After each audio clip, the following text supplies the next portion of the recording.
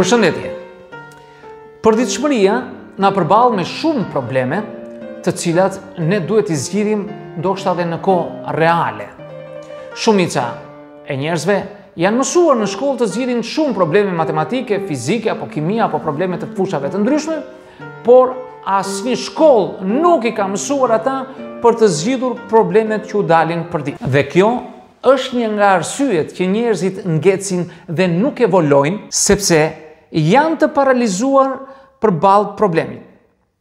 Ata shpenzojnë shumë kohë duke menduar për ndikimin negativ të një problemi.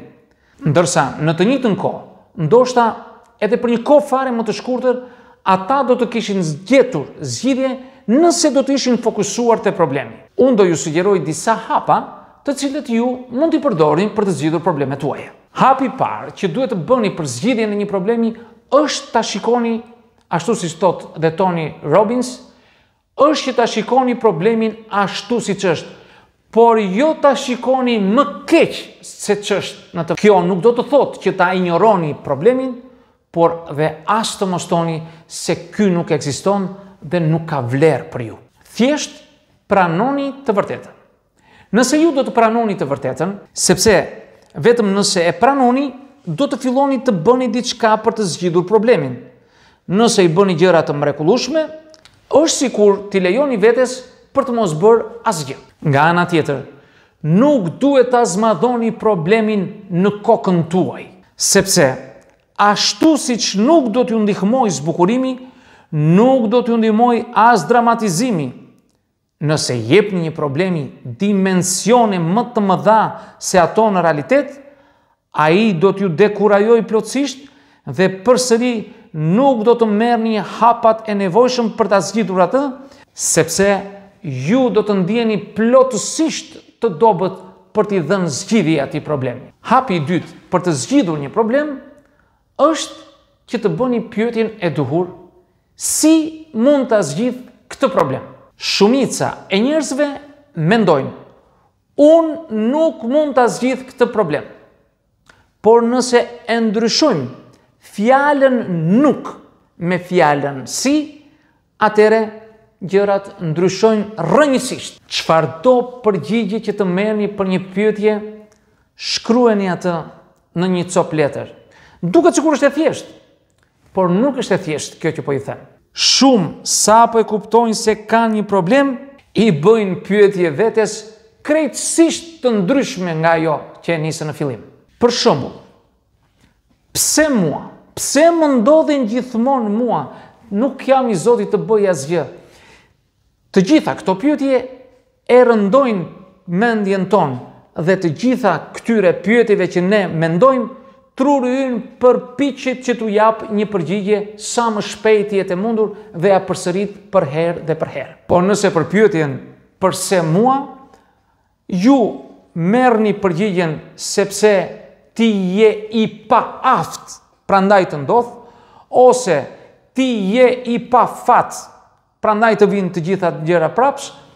Pra, të gjitha këto përgjigje janë ato që të bëjnë më keq.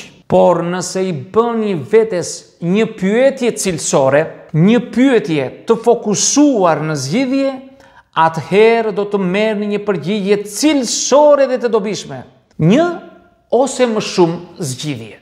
Sapo të pyesni veten si mund ta zgjidh këtë problem, atëherë menjëherë ju do t'ju vijnë ide se si ta zgjidhni këtë problem, por këto ide duhet të filloni t'i shkruani në letër dhe t'i kini gjithmonë përpara që të shikoni. Hapi i tretë, zgjidhni një zgjidhje dhe bëni një hap.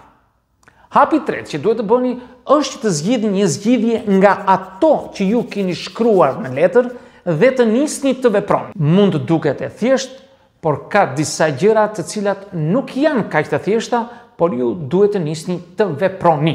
Së pari, mos e superanalizoni planin tuaj. Tony Robbins thotë se kur i ndërlikojmë ose analizojmë gjërat, kjo na çon në mosveprim, por duke nisur veprimin, ju do të ndiheni dhe të dalloni se jeni më mirë dhe jeni më afër zgjidhjes së problemit. Së dyti, Kini parasysh se nuk është e rëndësishme se sa veprime do të bëni për një ditë, por sa kohë do të zgjasë secili nga këto veprime që ju bëni. E them këtë sepse zgjidhja e problemit zakonisht nuk vjen nga njëra ditë në tjetrën. Duhet kohë që rezultatet të vijnë nga veprimi. Duhet kohë dhe për një arsye më shumë se çdo ditë që zbatoni planin tuaj, ju do të bëheni më efikas edhe më krijues. Pra së fundmi të bëjmë një përmbledhje të atyre që thamë për të zgjidhur një problem, e para që duhet të bëjmë është që ta shikojmë problemin ashtu siç është dhe të mos e zmadhojmë atë. Së dyti, mund t'i bëni pyetje vetes Si mund ta zgjidh këtë problem dhe më pas bëni listën e zgjidhjes së këtij problemi. Së treti, zgjidhni një ose dhe disa, por gjithmonë duhet të bëni një plan veprimi. Miq, këto doja të thosha në këtë video, nëse u pëlqeu, mund t'ia shpërndani dhe shokëve dhe miqve tuaj dhe mos harroni asnjëherë që të bëni subscribe për të marrë videot e reja që unë hedh në kanalin tim.